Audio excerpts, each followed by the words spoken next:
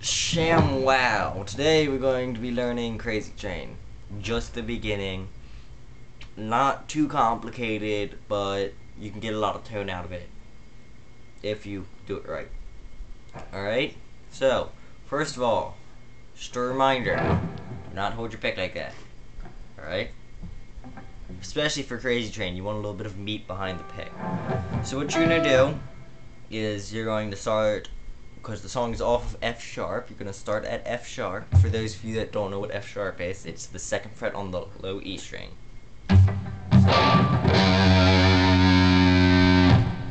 Alright. So what you're gonna do is you're gonna kind of make a power chord, right? Which is two on uh, E, four on A, and you're gonna do the second on E twice. So, gonna go up and get the fourth on A, and back down to the second on E. So,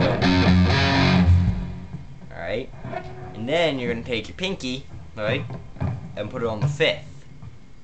Alright, so it's kind of like a power chord, just there's a bigger thing, second five instead of second two four. So, and back down to the E. Alright? And then, you're going to go to your second on A. Alright? You're gonna go then open on A. Then to the fourth on E. Back to open on A. Second again on A. Open. Then you're gonna go to open on. So it's basically going up and down there. Alright, so all together you have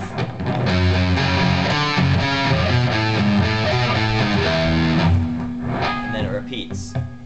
But the fancy stuff, you take your wee little pick right here, and you're gonna go like that. Alright? See how there's some thumb behind the pick? Alright. And you're gonna take it down here. And there's artificial harmonics.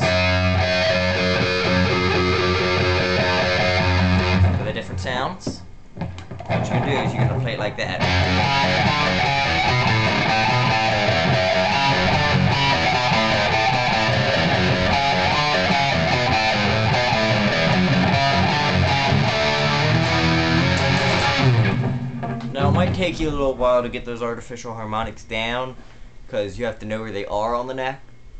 Like, if you watch some more complicated people play, like Zakk Wylde does this a lot, he'll always get artificial harmonics because he's used to it. But like, for like every fret,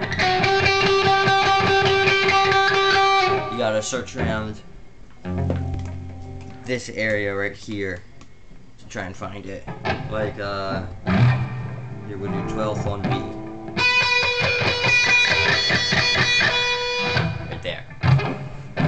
Just gotta work on that a little. But yeah, that's pretty much it. Learn it, practice it, love it, or I'll find you.